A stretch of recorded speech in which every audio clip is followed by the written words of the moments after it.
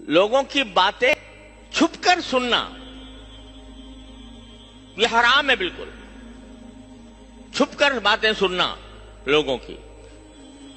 अवत ऐसा होता है कि टेलीफोन की लाइन किसी और की मिल जाती है, टेलीफोन के ऊपर।